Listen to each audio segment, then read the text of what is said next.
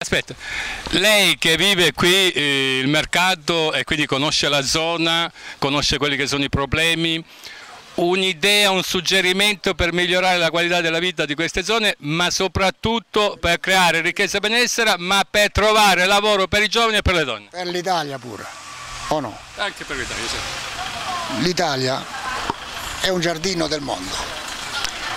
Allora, basterebbe tenerlo pulito solo quello. E, e, e, e, attingere della natura che ci ha dato, bagnato da tutte le, le, parti. Quindi lei dice abbiamo il mare, abbiamo il sole, abbiamo, il turismo, abbiamo le bellezze naturali, archeologiche, culturali. Seminare 4-5 volte, nessuno Stato semina 4-5 volte, la Russia, quell'altro, i tedeschi, noi abbiamo l'oro e non l'abbiamo, la politica ci, ci ha rovinato. I politici dovrebbero fare quel mandato e poi a casa, quel mandato e poi a casa.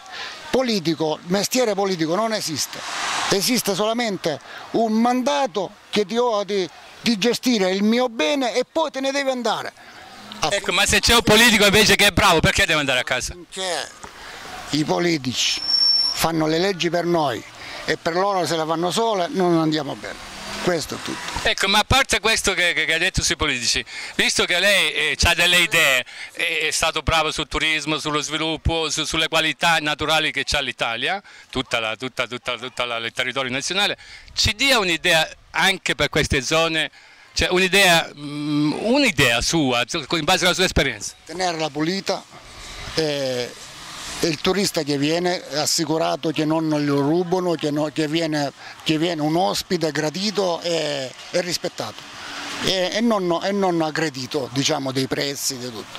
Questo vuol dire benessere, vuol dire venire di nuovo, vuol dire, vuol dire una cosa Questo è, bravo, questo bravo, complimenti, buon lavoro e auguri, arrivederci.